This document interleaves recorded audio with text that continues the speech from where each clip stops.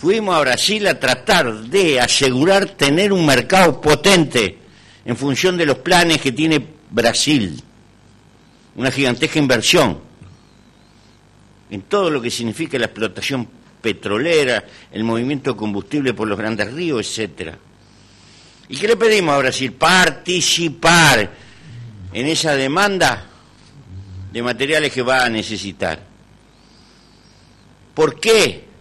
Porque eso abre la puerta para que vengan inversiones importantes y traigan tecnología al tener un mercado seguro, si no, no viene. Tratamos de asegurar que la actitud política de Brasil sea de puertas abiertas para aceptar el comercio uruguayo. Le estamos planteando a Brasil discutir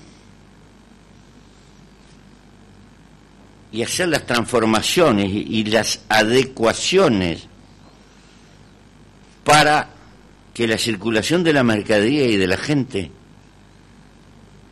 en términos generales, pueda ser una cosa cotidiana, como estaba propuesto en la fundación del Mercosur. Ante la crisis del Mercosur, nosotros procuramos dar un paso hacia adelante, más, eh, acercarnos más a la letra del sueño fundador, eh, porque creemos que para el Uruguay eso le da ventaja.